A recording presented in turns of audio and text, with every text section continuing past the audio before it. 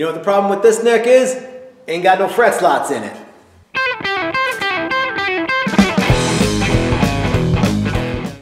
Hey everybody, this is Matt and we're at Texas Toast Guitars. We're in the wood shop today. Thanks for watching. And uh, I'm going to show you guys how we put fret slots in a neck that has an unslotted fretboard already glued to it. In fact, I've got four of these guys.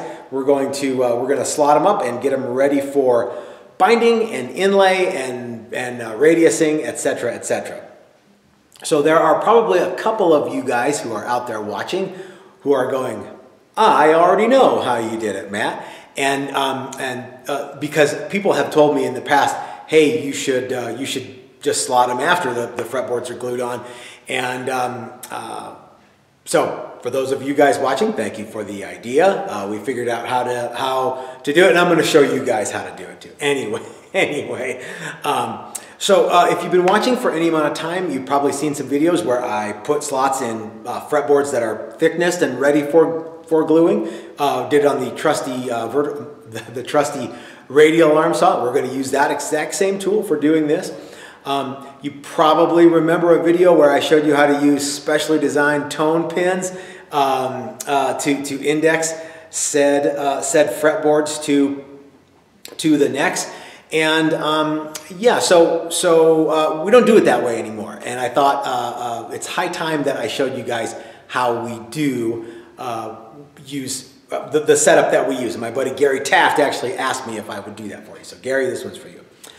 Um, so I think the, the thing that we want to talk about is a couple of tools that we have uh, gotten um, since we did those old videos, and I'm going to show you those now. So one of the tools that was a game changer for us were the uh, template sets that we get. I, these are, they're clear, so you can't see them. The template sets that we get from Steve over at Maximum Guitar Works, link in the description below. Uh, Steve is a good friend of ours and is making some really excellent stuff that uh, we use daily, and you guys can use it too. Um, so anyway, this is, but this is what I wanted to show you.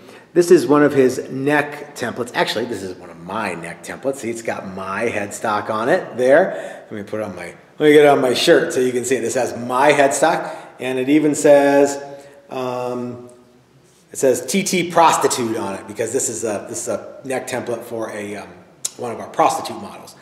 Anyhow, you see these two holes here, and you see these two holes here. These are um, they're holes in the uh, in the acrylic, and they're backed with uh, uh, hardened pins. Uh, they're drill guides.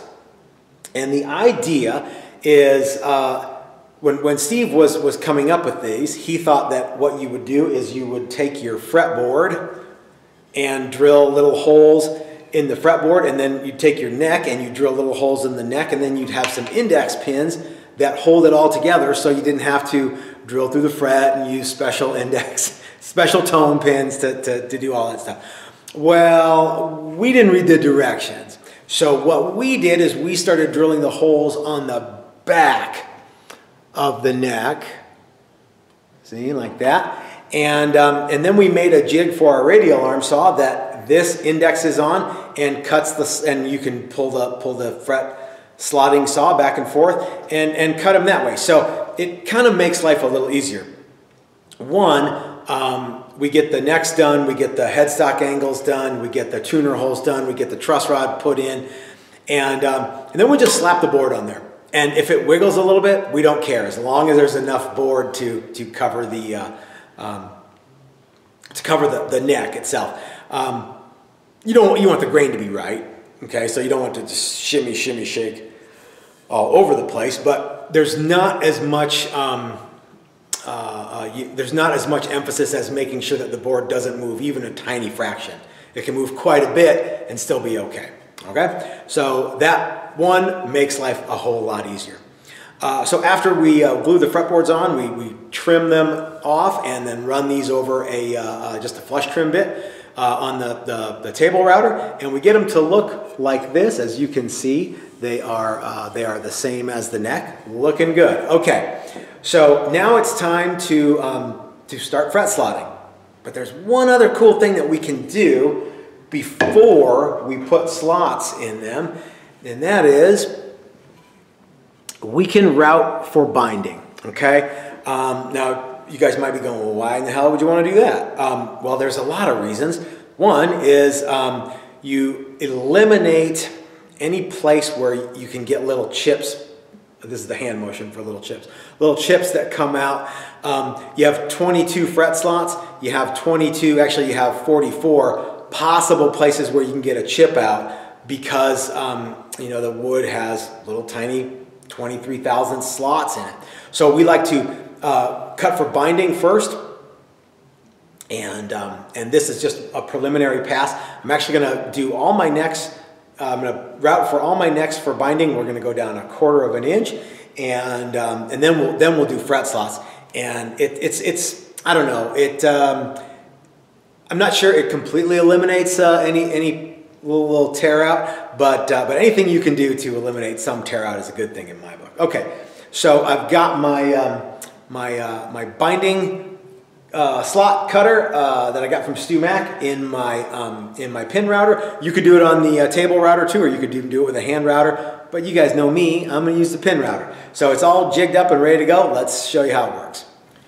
Okay gang, uh, I got home and I was attempting to edit the video and I realized that there was no video for this part. So um, please forgive the lack of continuity. Um, but what I wanted to show you guys was how this StewMac um, binding cutter works and how it works on my, uh, my pin router. Like I was saying in the other stuff, I, I think, um, you can do this on uh, uh, with a hand router, you can do it on a table router, but since I got a pin router, I'm going to use the pin router. I'm going to make a couple passes, and uh, it's going to, uh, this bearing here is going to ride on the neck, and this cutter is going to cut a rabbet into the fretboard and it's going to do our binding slot. And I don't know how much of this I already did, but let me just for the sake of, of, um, uh, of completion tell you that the reason that we are putting the binding slot in before the fret slots is because it eliminates some of the uh, opportunities for tear out every time there's a fret slot. So you imagine there's 22 fret slots, that means there's 44 places where a tear out can occur. Uh, it doesn't eliminate the, uh, the possibility of tear out, but it reduces it some. All right, I'm going to do it in two passes, and I'm going to go down to a quarter inch.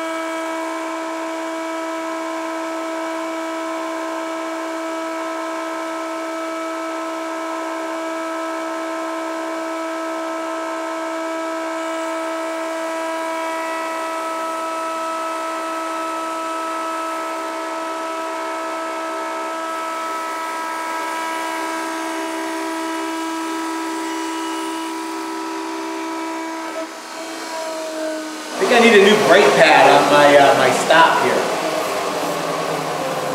Okay, so I've got my binding channel in. Now, um, the binding cutter that I was using has a, uh, the bearing can be switched out just like any other rabbeting cutter. This one will do a 60 thousandths um, binding channel. You can put different size bearings on there and do other sizes of, um, of binding widths or thicknesses and uh, um, and so yeah so you get the you get the cutter and you swap out the bearing and that changes the um, uh, the thickness of the binding that you can use.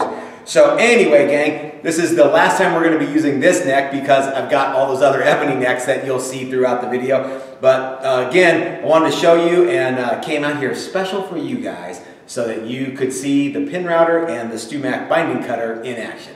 Cool? All right on with the show all right, gang, uh, we got our binding slots done, so that's cool. And uh, now I'm to show you how we make a neck like this look like this. And then we'll do some more stuff after that. Um, the key is, again, like I was saying, these little holes here. They line up with all the necks have the, uh, the same holes. And uh, the reason they have holes is because they are going to accept some eighth inch pins and they line up with uh, this uh, fret slotting guide that I got from Stewart-MacDonald. I modified this one to have the holes. This, the, the back ones have uh, two sets of holes. Don't worry about that. The, for the purposes of this video, we're just going to use the two in the middle and two here. Um, and, um, and we'll put a little double stick tape on it and it's going to go right over our radial arm saw and uh, you'll see what I mean. It's super, super easy. So let's get everything set up and we'll go from there. Um, the important thing to remember is that these, these holes are in the same spot on every neck that we make and that's the key. Okay, gang, I'm going to show you how to uh, index the, um, uh, the template onto our necks. And for to do that, we're going to be using some eighth inch dowel pin and um, uh, we're going to be putting the pins in there and running it through the, the template. I do want to put some double stick tape on the ends. So we'll do that first. Actually, we might do that second. You know what? Let's try it both ways. I think I want to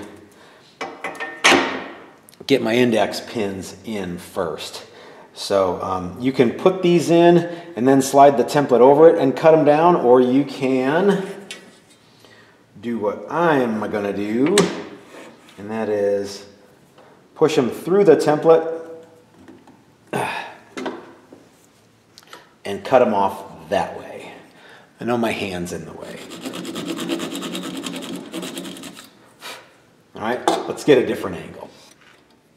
All right, so again, I'm not left-handed. So I'm just gonna tap the pin in through the fret slotting template into my neck. And then I'm gonna come down here and uh, get everything lined up. And repeat.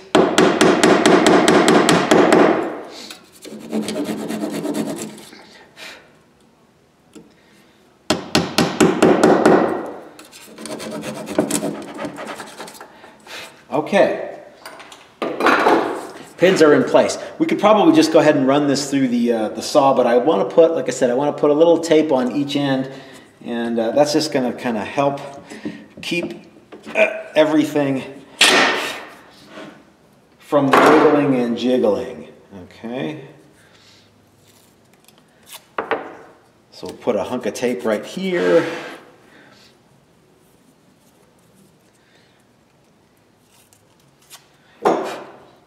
put a hunk of tape right here. This is that Taylor Tool Works um, double stick tape that we've been using for a long time. We really like this stuff. All right, and then we just put the put the template back. Okay, there's only one way it can go. Squeeze that dude on there. And let's change the camera angle one more time.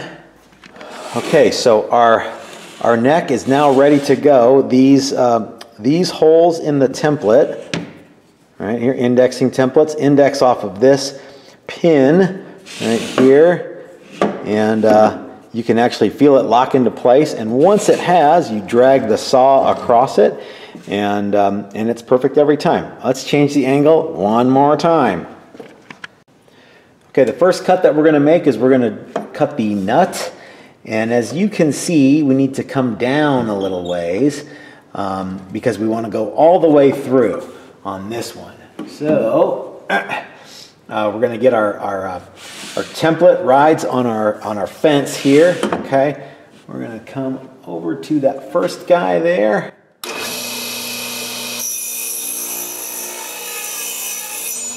Not quite low enough.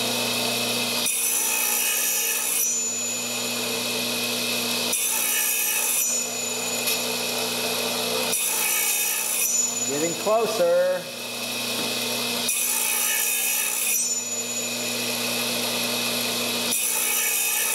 You can actually see the, the slot going into the ebony on the, uh, the uh, uh, binding channel. Really close now.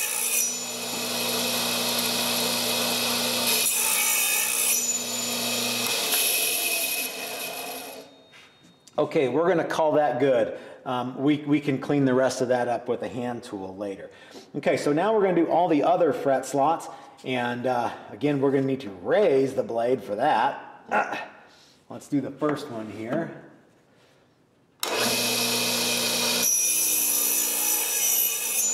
Doesn't quite look deep enough.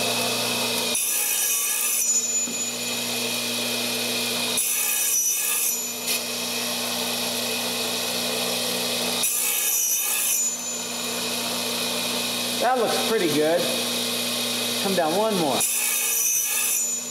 All right, so that looks good. Let's go ahead and uh, cut the other 21 fret slots. I'm gonna turn my vacuum on and we'll go to town.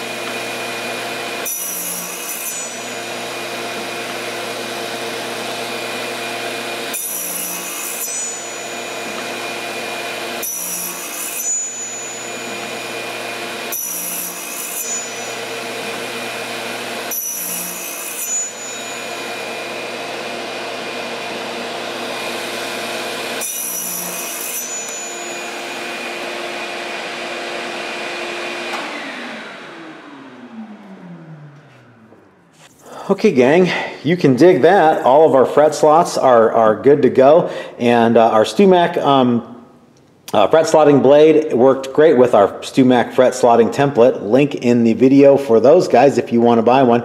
You don't have to have a radial arm saw to do this. Um, you can do this on a table saw. You have to have uh, you know something that this blade will fit on if you want to use this blade. Uh, people often ask me, could you do it with a power miter box? I'm not going to say no, but I'm not going to say yes because I haven't figured out how to do that myself. Because I have this tool, I, I mean, I have a power miter box, but uh, this one already works, so I haven't really, you know, deep dove into how to do it with a tool that I don't need to use.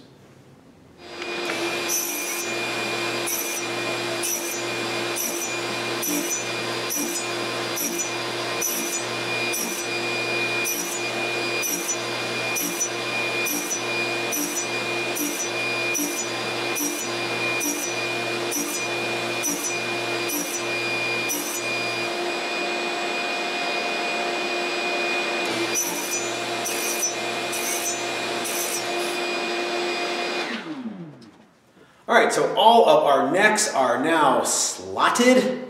And uh, I want to take a moment, guys, to um, safety talk.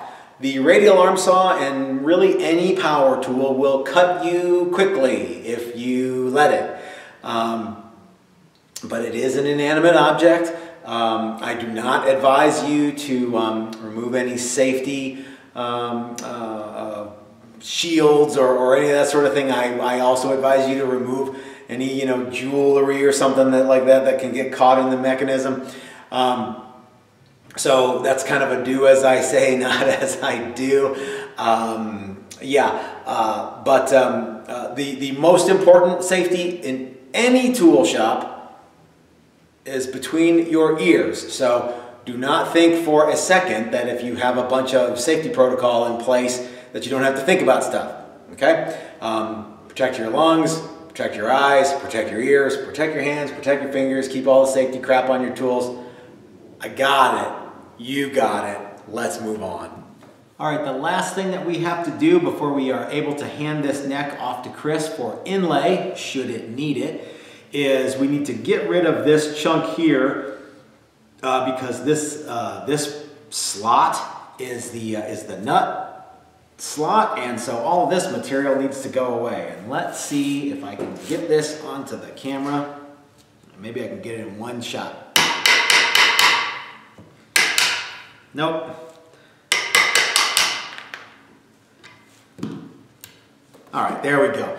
So if we need to clean this up any, we can. We actually put a piece of tape on here before we uh, glue everything down so we don't mash a bunch of glue here. But this will now become the nice uh, shelf for our nuts. Boop, it just goes right in there, but uh, that is a different video. All right, gang, well, let's go ahead and wrap this video up because I need to deliver these next to Chris so he can do his work his inlay magic on the on the fretboards. You might have noticed that every single neck that we were working with today has an ebony fretboard. They are all the other ones over there. Um, so yeah, people are uh, still into ebony. Ebony is getting harder and harder to get, but um, uh, yeah. So ebony's still cool, and uh, if you like black fretboards, I mean, that's, that's the hot setup right there. Plus, I think ebony is a super cool wood, even if you get stuff that has streaks in it or, or is actually brown. Um, in fact, some people think that's even cooler. So anyway, ebony, super cool. Um, guys, if you uh, want to try some of the techniques that I was showing off today, uh, I urge you to check out one of our build a classic uh, or classic woodworking workshops. We have either a set neck, you can do a set neck, a bolt on, neck through, carved top. There's a whole bunch of, of workshops that we offer. Um, and uh, you will get to do some of the exact same stuff that I was doing in this video today. Um, so if that's something that you want to do, check that out on our website. If you uh, want to know more about some of the tools that I use, link in the description below to Stewart-MacDonald, and uh, um, you can check those out there. Uh, but other than that, gang, if you like the video, give me the thumbs up. If you haven't hit the subscribe button, please do so. If you appreciate content like this, I would urge you to go over to our Patreon page and consider becoming a member. Even a buck a month goes a long way to helping us bring you cool stuff like this. Or if you want to, you can join us on, uh, on YouTube. Same deal, uh, even a buck a month. You know, actually, I've got some uh, acoustic videos that are playing exclusively on uh, uh, member YouTube member and a Patreon member, same video, just different different platforms. And uh, it seems like the YouTube uh, members are watching more than the Patreon members, for whatever reason. So maybe it's easier to just hit the subscribe button on the YouTube. All right, gang. Well, if you have any questions, leave them in the comment section below. Just like always, I'll try to answer them as best as I can. Uh, and until next time, this is Matt at Texas Toast reminding you that if you're so smart, start your own YouTube channel. That's what I did. Thanks for watching, guys. We'll see you next time.